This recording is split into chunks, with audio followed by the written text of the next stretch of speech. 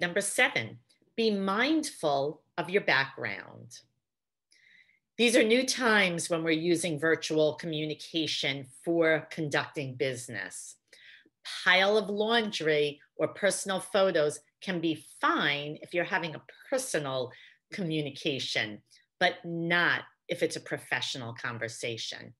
You can certainly have photos of your family, but get rid of the laundry or the clothing that's hanging on the back of your door.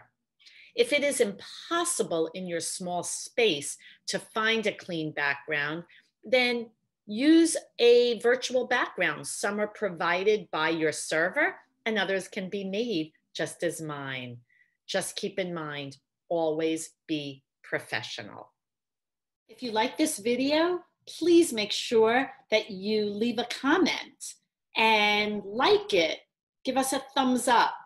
We really appreciate your support and your enthusiasm, and I look forward to hearing from you.